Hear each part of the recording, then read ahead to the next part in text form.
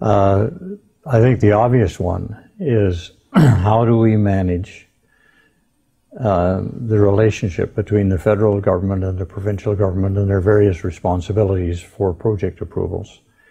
And how do we manage um, the other areas where special interests have a right?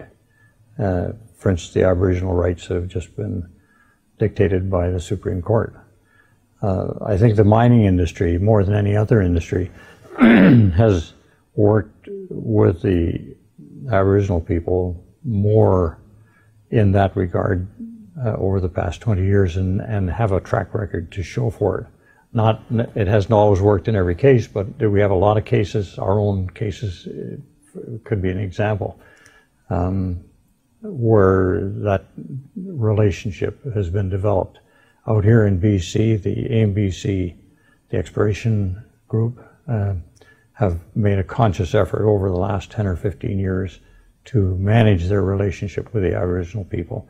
And I think that has been very beneficial and there's been a good relationship developed. But beyond that, now there are, with the new um, guidance from the Supreme Court, that really has to be proactively managed in a very major way.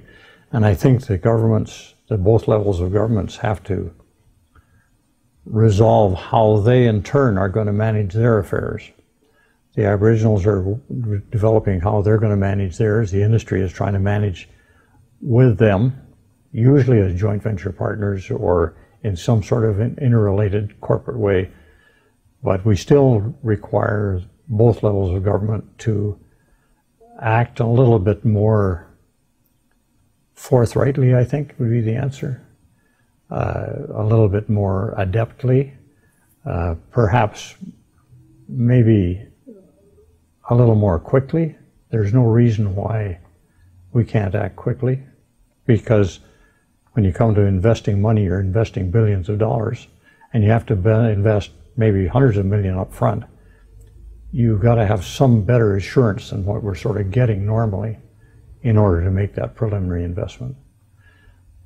There's good room for improvement, I think, between federal and provincial jurisdictions there. I think the relationship with the Aboriginal groups is developing, and I think it's developing in a healthy way, and I support it wholeheartedly. Um, I would like to see the governments come on a little more proactively, I think.